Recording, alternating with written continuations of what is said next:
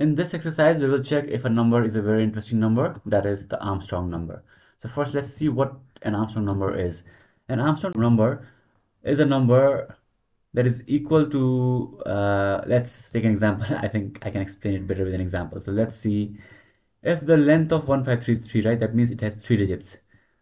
Uh, if then we raise each digit of this complete number, that is 1 to the power of 3 plus 5 to the power of 3 plus 3 to the power of 3 then it has to be equal to the original number. And in that case it is an Armstrong number. So if we have a number called 1 5 6 7 uh, whatever this is so if this has to be an Armstrong number then this should be equal to 1 to the power of 4 plus 5 to the power of 4 plus 4 to the power of 4 plus 6 to the power of 6 sorry to the power of 4 so we check how many digits are in the number. There are four numbers right?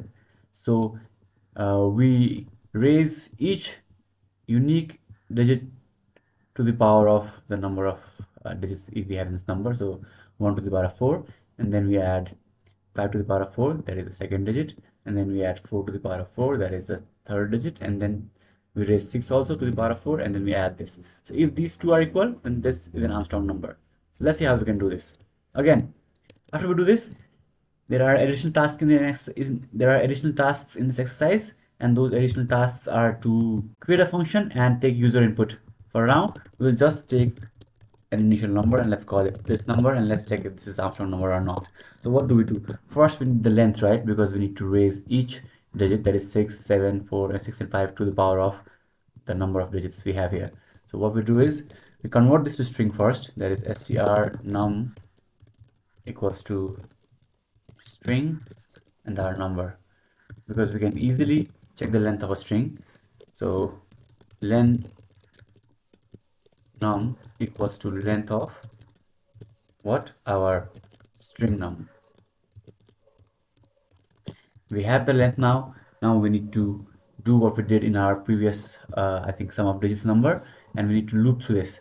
So to loop through this we will again use our string converted number so what we do is we do um strong number equals to sum of this to integer sum of digit raised to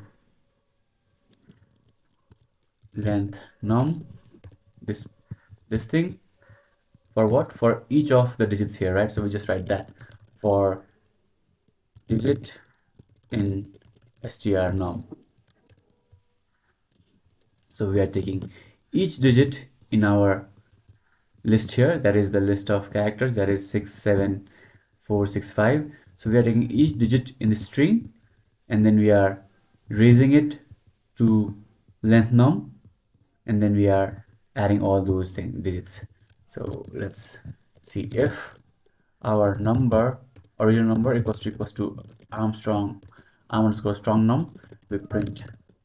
What do we print we print number is an um, armstrong number.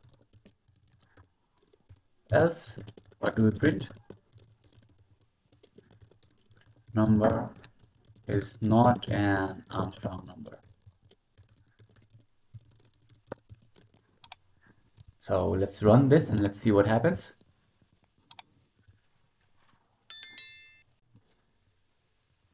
So this is not an Armstrong number. A common Armstrong number is 153. Now let's run this again. So as you can see 153 is an Armstrong number. Now go on and do these additional tasks. Instead of writing the number here, take the number input from user. So when you run the program, it should ask user enter your number and then it should do these calculations and also add this in a function so when the user enters the number call the function check the output and then do this printing stuff. Okay?